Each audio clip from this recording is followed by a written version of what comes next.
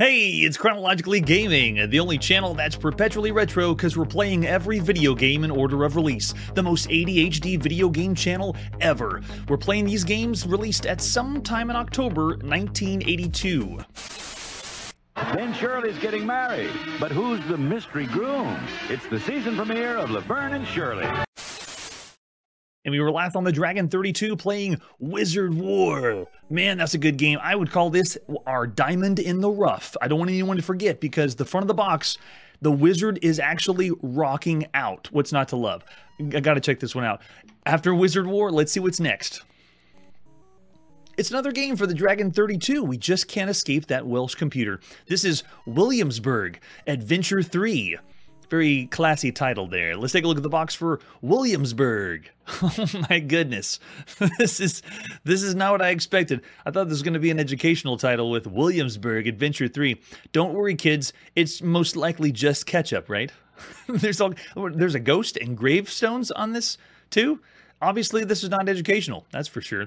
This is this is the actual 34th game we've played for the Dragon 32. Let's flip the t- cassette tape over on the back. I really don't want to I don't want to miss the front of the box. That's amazing. Not what you'd expect. Let's play a game going back to colonial Williamsburg, kids. I don't know if you're going to tilt your head to the side, but Williamsburg is a small colonial town where there is hidden the Golden Horseshoe. Your goal is to find it and bring home the Golden Horseshoe. Beware of evil spirits. Oh my gosh! So yeah, this game's this game's boasting lots of crazy things. What other artwork do we have for Williamsburg Adventure Three? I believe this is part of the Microdeal Adventure series, which I'm not keeping track of because, sorry, Microdeal, you're just not as important as Scott Adams. And there's the cassette tape for Williamsburg Adventure 3 that we're going to play on our Dragon 32. Here we go. Let's pop in and play. Microdeal released this at some time in October 1982. When in October? We're just not sure. All right, this one loads up with cassette, and we're going to fast forward through all the load times and go right in to the game. Yeah. For your enjoyment, an adventure in Williamsburg. Do we want an introduction? Sure. Yes, welcome to Microdeal Armchair Adventure. Ah, kind of like Scott Adams Adventure Games. They transport you to far lands and exotic places, like uh, Williamsburg, where someone is trying to chop you up. You can find yourself fighting ghosts, searching for hidden treasure, all from the comfort of your armchair. Uh, need to get comfortable in my armchair. Press any key to continue. You use two-word commands to get book, open door, shut window, etc. So it's a two-word text parser. Uh, and I believe this game does not have a save function. Remember that. If there's no save function in an adventure game, that means there's problems. You can also use north, south, east, and west to go in the appropriate direction and begin your armchair adventure, because you'll need it. All right, so you just entered Colonial Williamsburg. Your goal is to find and bring home the famous Golden Horseshoe hidden somewhere in the city. Tell the computer what you want to do using two word commands like go north, get ye flask, which won't work in this game because it don't that's that's three words, sorry. This game was first seen by Chromasette in September 1982 for the TRS-80 color computer, and we're going to be seeing this on other systems in 1985, I believe, for lots of other home computers. But this one is the first time we've played it here on the show. We're currently on Duke of Gloucester Street. Nothing of interest here. We have directions north, south, east, and west. Well, there's nothing of interest. Let's just let's leave. I'll go ahead and head east. We're still on Duke of Gloucester Street, which kind of makes me feel like we're playing an educational title. This is not the Breckenridge Caper of 1796, I believe it was. It was the educational adventure game. That was way out there. There's also another one that was based on the Scarlet Letter, which is crazy. That's a that's a video uh, adventure game, but this one is not educational whatsoever. All right, let's keep going east. We're still on the Duke of Gloucester Street, but we do see a music teacher's shop. Let's keep going east. And now we see the King's Arm Tavern. All right, so can we just say go tavern? Yes. Now that we're in the tavern, we can see a table, a waiter, and the directions is nor or north. I wonder why they said that when you, they could easily have just put in to give us the cardinal directions. All right, let's go ahead and uh, sit at the table. Anything can happen. Once we sit at the table, we can see the waiter and dinner. Nice. All right, so let's go ahead and pay the waiter. The waiter gives you a quarter in change and sarcastically says, About all that will buy you is a map at Scribner's. Okay, so maybe he teaching us what Scribner's is. All right, let's go Scribner's, if I'm spelling it right. There we go.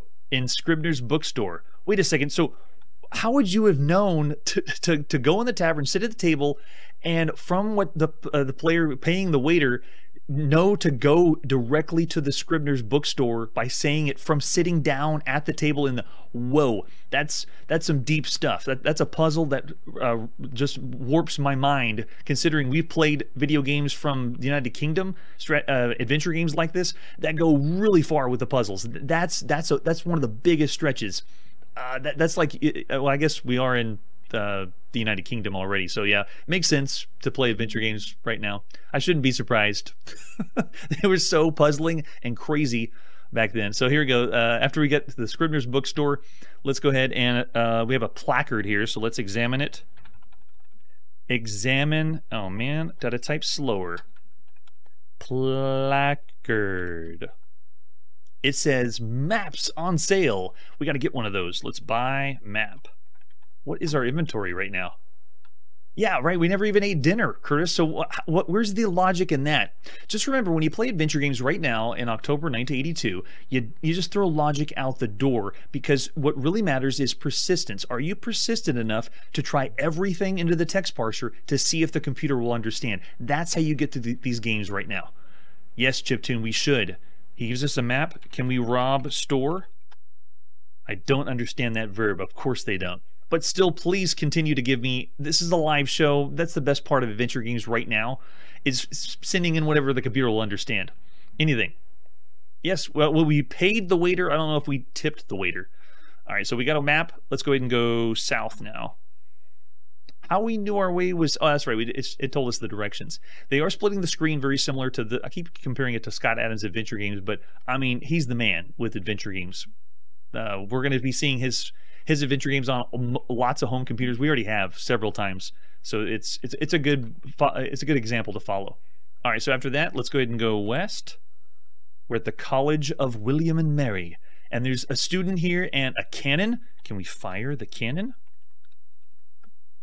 I don't understand a fire. Darn. So this is a very simplistic adventure game. This is an adventure game that is uh, only allowing certain verb commands, and there's no save function. Um, it is I would say the best part of this version on the Dragon 32 is the box. You can't argue with this. this this is fantastic. I, I, am speechless uh, to explain the box. So I'd say of all the games you could play right now across all home computers, I'd still say this is around a two star range. But honestly, because of the front of the box on this one, uh, I'll, I'll, go two and a half stars. And because it's not a, a usual Colonial Williamsburg adventure. So I won't necessarily call this bad. It's it's borderline though bad of all the games you can play. yeah, whatever you say, B40, B40. all right, after that game, let's see what our next release is. Next, we're going to play on the Apple II. The next release is Wizplus. Let's check out Wizplus, starting with the box. Ooh, it's epic. The wizard saying, Psst. Want to win at Wizardry? It's a magical utility program for the wizardry adventures that lets you quickly and easily change, restore, add, modify. It, so it's not really a game, but it is by Datamost. This is barely a game. It's more like an application. This is only for the Apple II, and this is the 401st game we've played on the Apple II. It's pumping out so many video games. Yeah, so this works with the uh, two games that Wizardry has out right now Proving Grounds of the Mad Overlord that we saw in September 1981, and then Knight of Diamonds, the second scenario, in August of this year, 1982. So this game is not really a game, it's more of a, a supplemental or something that you need to access and uh, manipulate the wizardry games. So if you don't have wizardry, this game does not work, or this application does not work. Yeah, you can see it's an add-on. Of all the games we played or seen here on the show, this is the 13th add on that we've played. Nowadays, we would refer to these as DLC, downloadable content, but add ons, they're a thing, and this is another add on. And this one, you could essentially uh, modify your uh, how many spells you have, experience points. It's it's like a a cheater almost. Yes, yeah, I know. Forty dollars for the utility. Can you believe that? I'm amazed at that. Uh, that's ridiculous. Oh, and I see in the chat, Curtis, nice two and a half star. That was very generous too. I thought was, I was a little bit generous as well.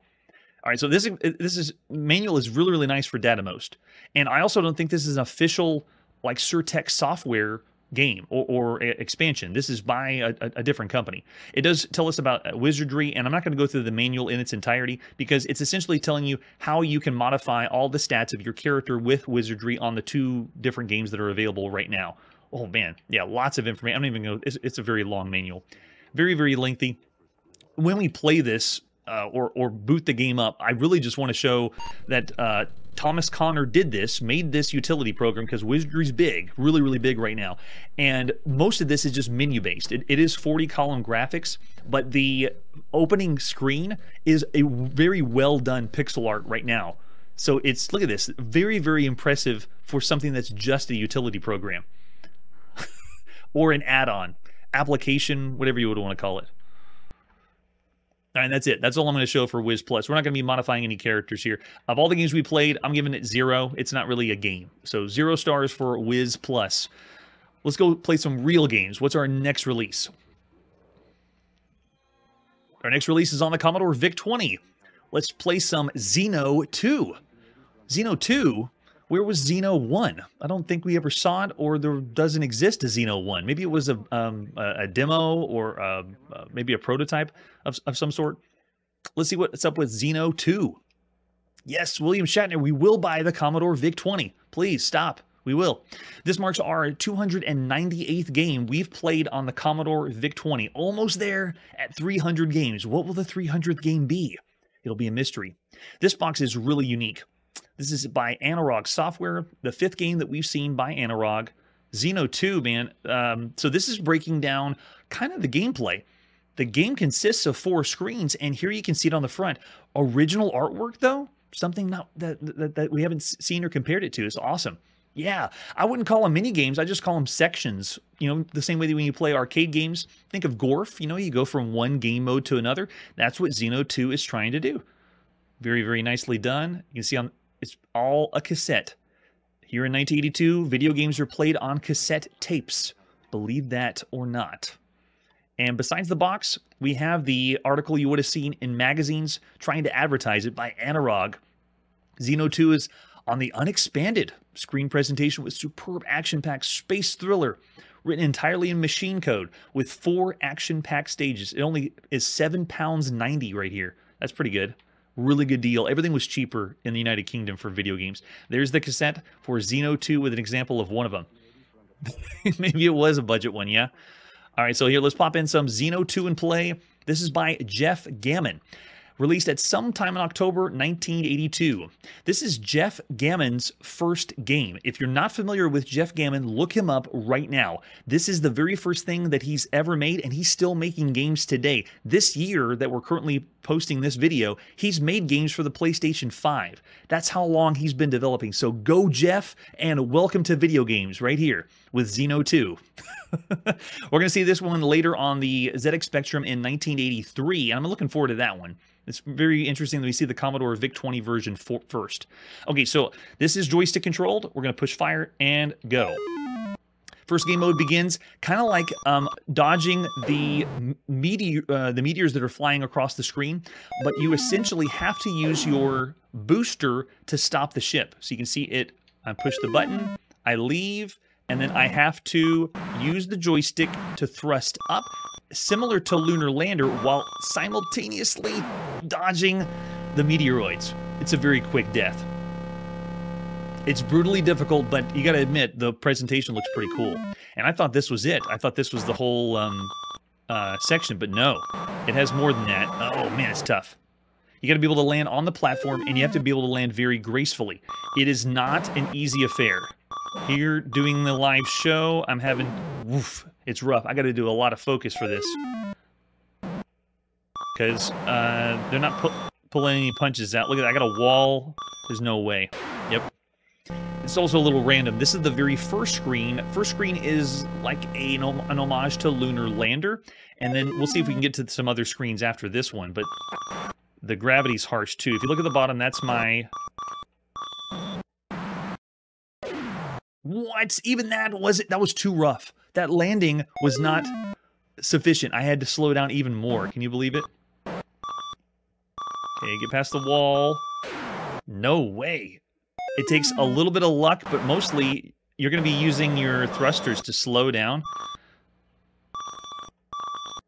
You just use up all the fuel. I'm just going to crank the fuel. Yes, good. All right, moving on to next round. Next screen, here we go. Another really fast-paced screen. Yes. So this one is... I am the red dot very quickly moving around the screen. You got to be fast. Twitch, go. Four different directions to shoot. And I'm kind of luring the enemies to the edges. So it's it's more like this one is a multi-directional shooter on one screen, looking pretty good. How many times do I have to do it? Oh, they got me. Is that our last one? It is. Darn. So that means whenever you die, you have to go back to the first screen. Is that it? I didn't I didn't know how to put the rest of my initials in. It was being controlled with the joystick. Kind of like we're playing in the arcade. But that's it. After you make the uh, uh, you lose all your lives, you go back to the beginning again. Let's go again and see if we can get past the lunar lander and have enough lives to go past the second screen. Nice and easy. Just got it. You have to burn those thrusters to land on the platform. But I'm getting used to it. Looks very, very good for a Commodore VIC-20. I don't know. For 1982, I'd be willing to push through it because... But you can tell they spent some time to get this out. As the first title he's we've ever seen, or at least released, uh, this is really impressive. Gosh. Nope. Now, the controls in this this round um, feel a little bit better, but it still is giving us the feelings we've we've seen with games like Berserk that that um, or uh, twin stick shooters like Robotron 2084. If you only have one stick, you have to be moving and firing. Oh, here we go. Next stage. Should look very familiar. So third one is Space Invaders. Let's use all of our Space Invader skills, knocking out the edge. Watch out for the bullets there. I don't think I can make it across. Look how they, the aliens are raining bullets. I, I am amazed at how difficult it is. Now, as far as Space Invaders style games, this one... Nope, go, go, go. Oh, they got me. Does it reset all the aliens, though? That's going to be tough if I have to play all the aliens over. Okay, thank you. They're too close to the bottom, though. They, they moved in so quick. I don't think I can get them. Also, I'm stuck to my seat.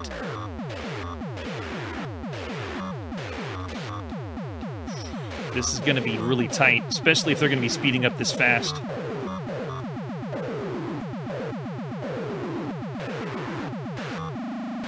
Oh my gosh. My shot is so slow. I don't know how I did that. wow. The fire rate is a little subpar compared to some of the other Space Invaders games. All right, final stage. Here it is. Fourth stage of all of them. We actually get a boss. Oh, very reminiscent of uh, Gorf or... Oh, man, is that our last life? Okay, no. Again, the, the, the firepower of the enemies. Look at all the bullets that rain down. Whoa. Yeah, that's tough. That's really tough. Thanks, John. I have no idea how I did that one. Probably from playing all the video games up to this point. So this is cool. This is something new, something fresh. I like how it's changing the game modes up, and the uh, quality of it is, is really good. Brutally difficult, though. Very, very hard. Um, I think I've had more focus on this game than any other game we've had up to this point. So uh, the controls do feel a little bit loose, especially whenever I, I felt in the Space Invaders mode. Uh, it was it was it was still very very good. Of all the games you could be playing right now across all home computers, this is well done. Uh, above average, having multiple screens, multiple game modes. I, I think of it like an alternate Gorf. That's what it really feels like. I'm looking in the chat. I see a three star. Yeah, it is very difficult. Uh, and there's other games that we played on home computers that do this, switching up the, the game styles or uh, genres. Uh, the loose controls is what really brings it down, but I'll still say three and a half stars. Uh, above average, very well done for all the games on home computers, and well done, Jeff Gammon, for the first game. That's amazing. And the chat I'm seeing mostly, yeah, four for sure, Curtis, I'm with you, if it was only for the Commodore VIC-20. All right, after that intense battle, let's see what ne our next release is. All right, coming up next is the home release of Zaxxon. And it's not the first time the home release of Zaxxon is here. This is the one for the Atari 2600. Let's check out Zaxxon. Here's the box. Uh, it looks like most of the Coleco releases. Or at least, I think, yeah, I'm pretty sure it's Coleco. So this we saw originally in the arcades the beginning of this year in January, and then we've already seen the ColecoVision version in August release. So this is after that. We got blown away by how they could make Zaxxon at home, and now it's for the Atari. This will be awesome, right? Next year we're going to see this release for the Mattel Intellivision, and this marks the 159th game we've played on the Atari 2600 or VCS. Coleco's doing what they usually do. They show the arcade cabinet on the front, and they're like, it's like the arcade. By the way, look at the arcade cabinet. They're showing a picture of the gameplay footage. Just just remember that. Yes, remember that.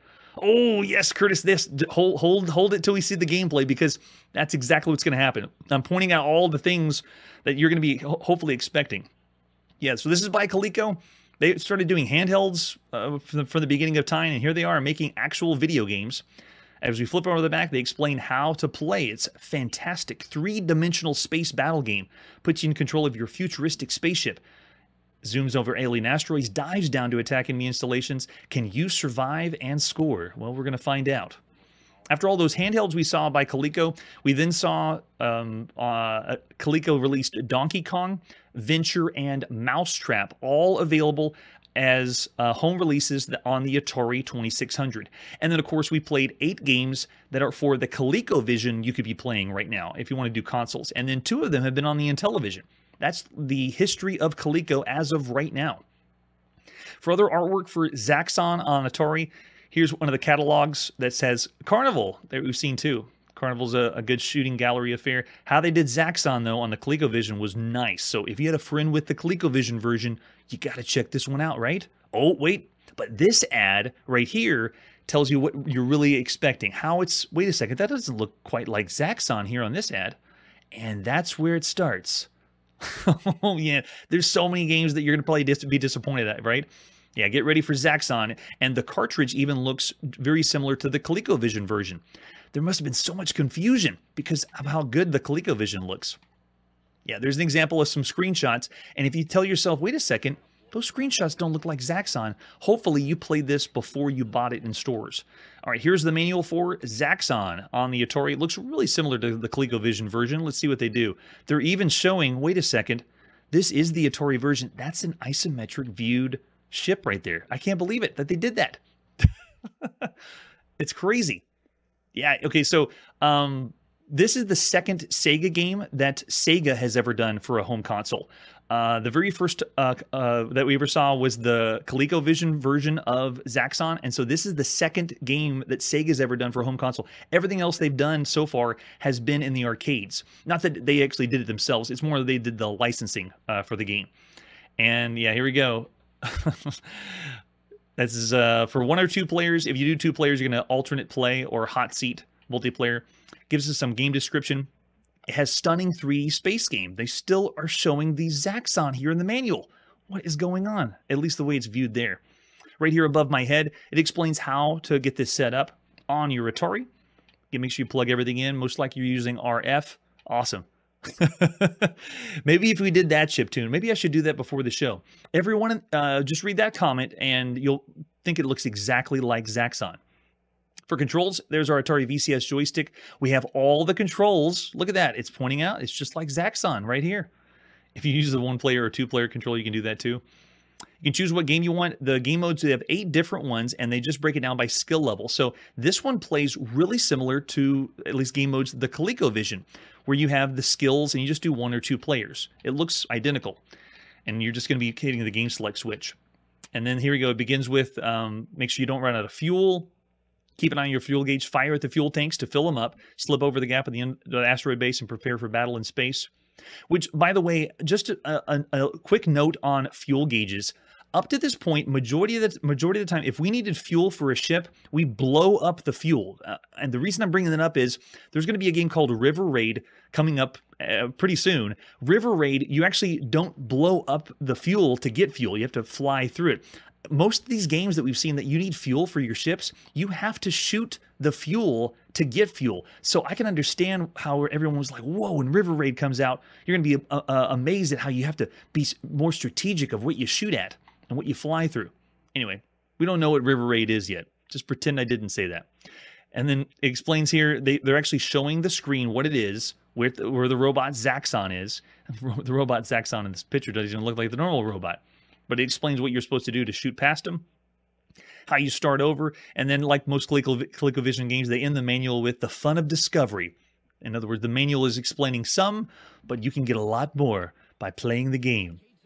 And indeed we shall. This one was available in PAL regions as well. Let's pop it and play the first time on Atari. This is Zaxxon by Coleco Industries. Oh man, they're raining down on us. So this was released sometime in October 1982. I'm just going to go with game mode 1 or the easy difficulty and reset. And then we're in. I can feel, oh yeah, cool using the joystick, being able to move the ship up and down, but I'm not playing like Zaxxon. I'm actually flying at the screen. And I can get low, fire low. If they have a shadow, I got to pull up a little bit, I bet, right? Yeah. So like this ship here, can I get him? Yep.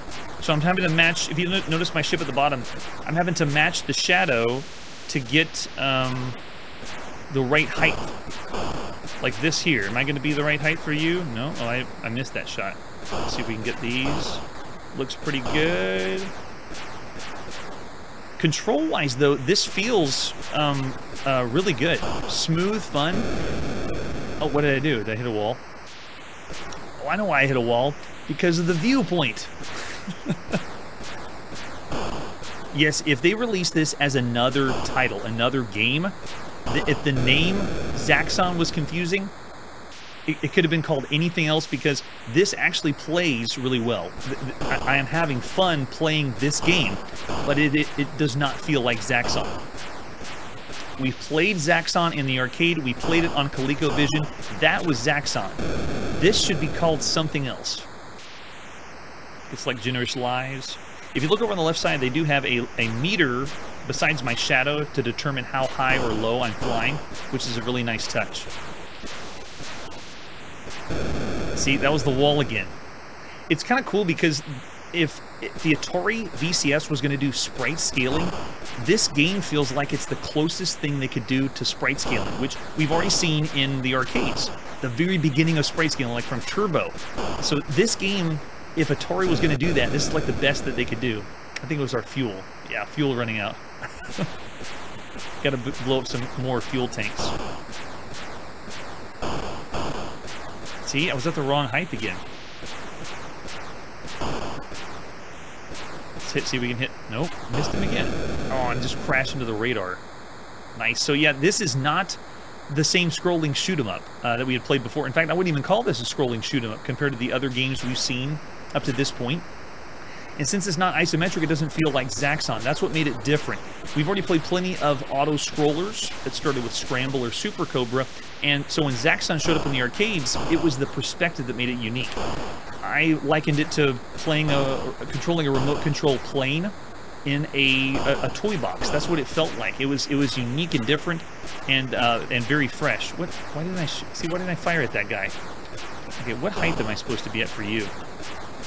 Let's see, go up a little bit more. The control for this game, though, is is very well done. Um, it's it's really fun controlling the plane going up and down, using the um, your VCS joystick kind of like a flight stick. How do we get fuel? Just fly into it.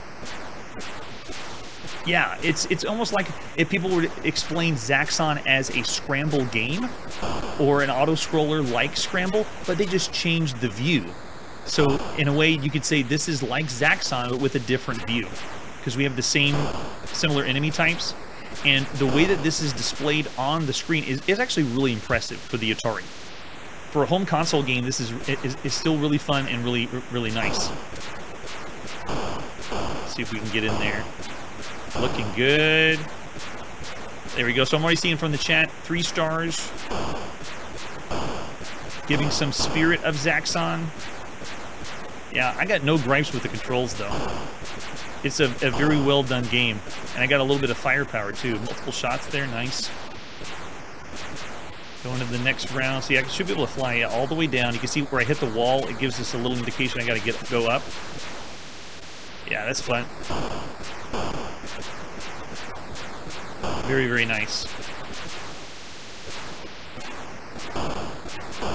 When Zaxxon first debuted in our arcades earlier this year, it was stunning all the players' groundbreaking use of the isometric perspective and 3D gameplay. So when, when, Sega announced that it was going to bring it to the home console market, everyone was excited on the ColecoVision, and it, it, the excitement was through the roof. But now on the Atari version it's in our hands, we can see that it's very ambitious uh, to try to get that game to play the same on the Atari. This is the version that the Mattel Intellivision is going to go for as well. It's not exactly like uh, Zaxxon. So looking in the chat, I got lots of divisive ratings. Thanks so much for the ratings. We got some uh, averages, which is around the three-star rating. I got two and a half to three of all the games you could play right now across all home consoles. And then sound, oh yeah, sound design three and a half stars from Manly. I even got a four-star from Charlie. So yeah, I, I, don't think I've seen the chat this divisive with a video game release yet of all the games you could play across all home consoles.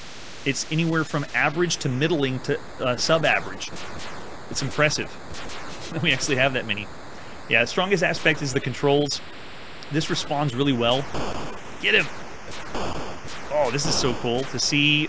And if you remember that from the arcade, Zaxxon looked very different. It looked more like a, a, a robot mainframe rather than an actual robot. This one looks like you're fighting a humanoid-like creature. Yes! Get in some more there. Yeah, so the ship is responding very, very quickly, and the button layout's intuitive for dodging and maneuvering. You can see how well this is playing so good. It's really smooth. Feels uh, familiar to uh, the veterans of Atari shooters, so you, you'd be able to pick up and play this very, very easy. Uh, but it doesn't feel like it's the same as the arcade version. All right, there you go. Quick taste of Zaxxon. We only played one player and game mode one. You had four different difficulties if you wanted to. If you did two player, you'd have to take turns, hot seat style anyway. So Zaxxon on the Atari 2600 is a valiant attempt to bring one of the year's biggest arcade hits to the home console. Really impressive they got it here on the same year it was released, too. In Japan, it was first in, in January. Uh, I mean, it, this managed to retain the core gameplay loop of dodging enemies, shooting, and managing your fuel. But at the cost uh, that made this arcade version so innovative is the unique 3D-like perspective and visual polish. If you're a hardcore Zaxxon fan, this port's going to feel like it's a watered-down version of the original. Most of those looking for a fun shooter on their Atari VCS library, Zaxxon is still going to deliver a decent challenge. Don't expect the groundbreaking experience you might remember from the arcades. So of all the games we could play up to this point, uh, it's th this could be great. If you don't remember on the ColecoVision home console, we were around five stars of all the games you could play. It was it was so good. I got to go all the way down to three and a half for this one. It is a well done game. It is very very fun. It works really well and plays really well, but it is um, uh, lacking and minimalistic because of everything else we've seen up to this point. Yeah. And that's a good point, Curtis. The ColecoVision's already out there. So that's why it gets higher marks for sure. All right, so there you go, Zaxxon on the Atari, but we're not done. We got one more Zaxxon. Coming up next is the handheld Zaxxon. Sometime in October, these were coming out. Let's check out Zaxxon as the handheld. I got a quick video over on the left side just showing you what this handheld is like. This is the LCD game that's based on Sega's Zaxxon arcade game. Uh, the cool double panel LCD game has two LCD panels on top of each other. It, it kind of creates a this cool 3D effect with lower objects on one panel and higher objects on another. And all the background images are created uh, by the LCD are animated. So this is one of those few handheld games that is not doing an overlay, you know, to show some of the graphics. It's all right there. It's very really impressive for an LCD game, especially if you love Zaxxon, you want to collect this one. It still isn't exactly the same because it can't do a, a, true isometric perspective. So what it decides to do is just have a scrolling shooter, but do it diagonally. So very nice touch. And so there's a few other games that are like this that you could be playing, like Airport Panic, Frankenstein or Mr. Franken, Hikyo Amazon or Amazon, and Terror House or Akuyo no Yakato, Zaxxon. So, th- and this isn't the only uh, uh, Zaxxon handheld. There's another one that we're going to see in 1983. That's the vacuum fluorescent display version. And then later, there's going to be one of the Coleco tabletop handhelds. So this is the first time we've ever seen one of these. Let's take a look at the artwork for Zaxxon, the LCD handheld. I don't know, right? So this is uh, by Bandai. The they've only been releasing handhelds up to this point. Everything that Bandai has brought to us is in video game form has been handheld, except for Astro Invader that was on the Emerson Arcadia 2001 home console. So here we go. This is the box of how you'd want to play Zaxxon. I don't know if you saw from the video. It's like a mini little nubby joystick that you use to control it. And interesting, they changed the logo.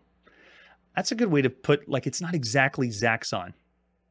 So there you go. That's the handheld that we're talking about. We're going to see some other ones later for Zaxxon.